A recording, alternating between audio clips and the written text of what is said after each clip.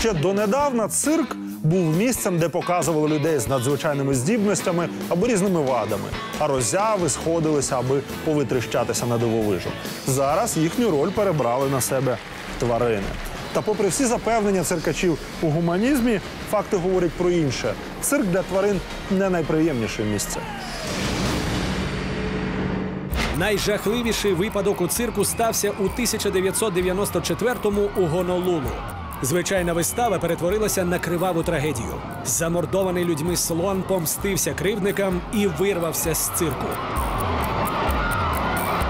Є історія всесвітньо відома про слони Хутайк, яка під час виступу зірвалася з арени, і вона вбила, здається, до 10 людей е, до того моменту, як поліція її застрелила. В неї випустили кілька сотень патронів, е, тому що жодним чином зупинити тварину не можна.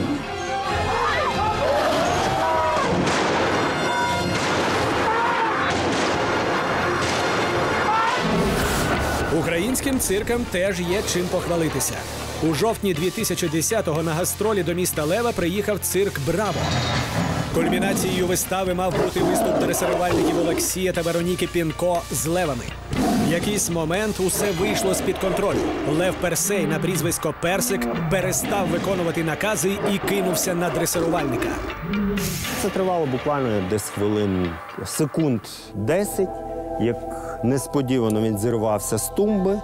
І все, що зміг Олексій, то тільки повернутися якось так боком, і він його атакував.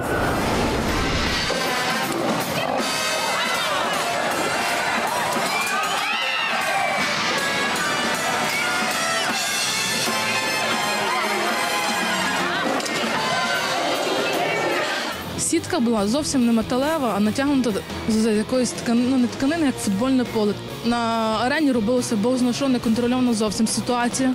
Розлюченого лева наче вдалося заспокоїти. Проте незабаром персик вдруге кидається на Олексія. Врешті тварину вдається відтягти від дресирувальника. Швидка забирає пораненого до лікарні. Рани належать до глибоких, тобто ті, які проникають глибше фасції. Це є глибокі рани. От, ушкоджені були в окремих місцях м'язи. На щастя для Олексія пошкоджені лише м'які тканини. Кістки на місці. Лев, який заспокоївся, назавжди залишить цирк. Можливо, у зоопарку йому буде краще. Мы будем его проведывать, мы его любим, и несмотря на то, что он утворил, нет на него ни злости, ни агрессии. Це не остання скандальна історія з тваринами у цирку Шапіто. У березні 2017-го під час гастролів у прилуках звідти втекла левиця Ніла. Напала на дресирувальника і вибігла у приватний сектор міста. Правоохоронці перекрили рух на вулицях і оточили район. Левиця ж у цей час сховалася на подвір'ї і відпочивала. Спокойно гуляла. Потом развернулась, пошла, наверное, туда, в конец огорода. Там погуляла. Я выхожу, а он вот тут стоит за сеточкой. Такой красивый. Транквілізатора, щоб приспати звіра, у цирку не виявилося. Тож довелося викликати місцевого мисливця. Взяв свою мисливську зброю, приїхав, зробив три постріли, все закінчилось.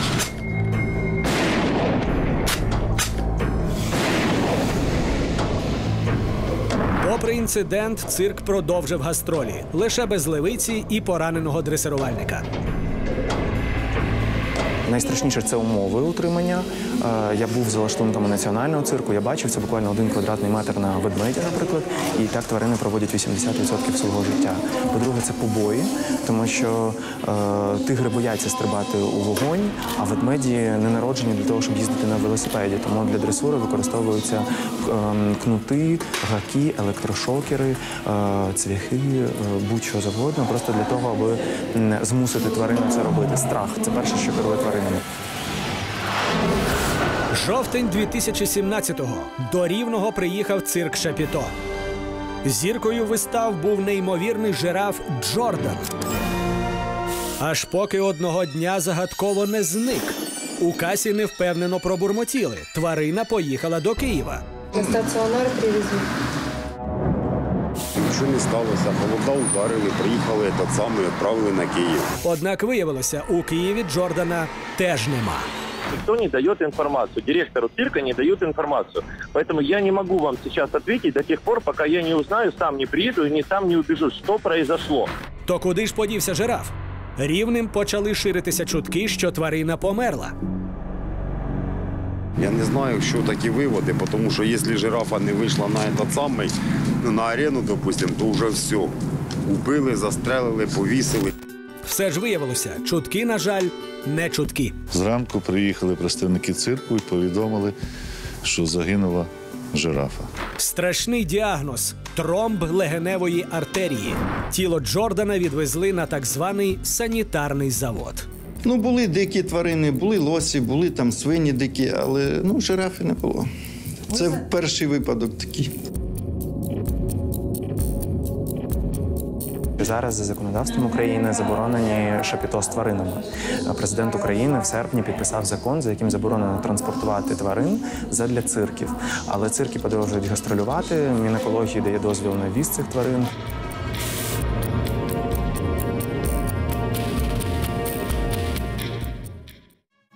Липні 2016-го в Іспанії бик вперше за 30 років убив Тореадора під час кориди. 29-річного Віктора Баріо ховали як героя. А на його батьківщині в місті Сепульведа навіть оголосили жалобу. Бика Лоренцо теж умертвили. А щоб рід переможців над людьми не продовжувався, убили й маму бика. Після цього жахливого нещасного випадку гучніше залунали заклики зоозахисників заборонити кориду не тільки в Каталонії, а й на решті території Іспанії.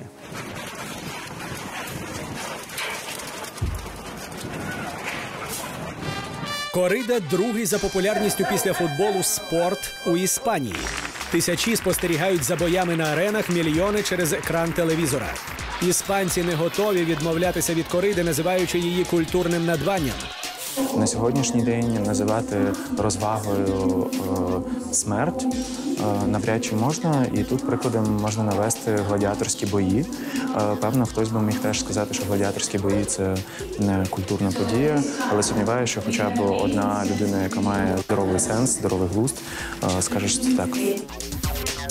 Прихильники ж убивчої розваги твердять, корида однаково небезпечна як для Тореро, так і для бика. Так, 2001-го одному із найвідоміших матадорів Іспанії Хосе Паділья бик пробив горло.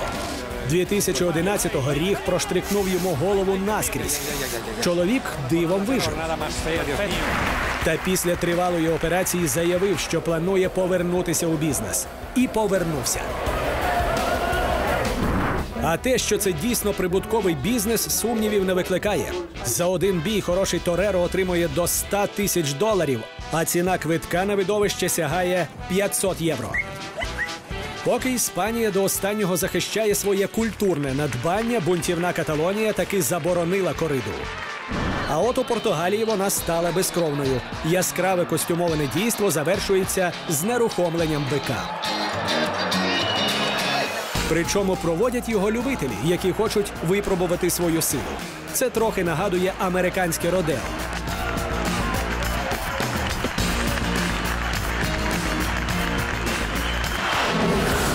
В Японії теж існують бої биків, так званий булреслінг. Цій традиції 800 років. У кожної тварини своя унікальна форма, і це неймовірно бачити, як вони використовують її в бою. В нашому бул-реслінгу матч припиняють тоді, коли одному з биків набридає боротися.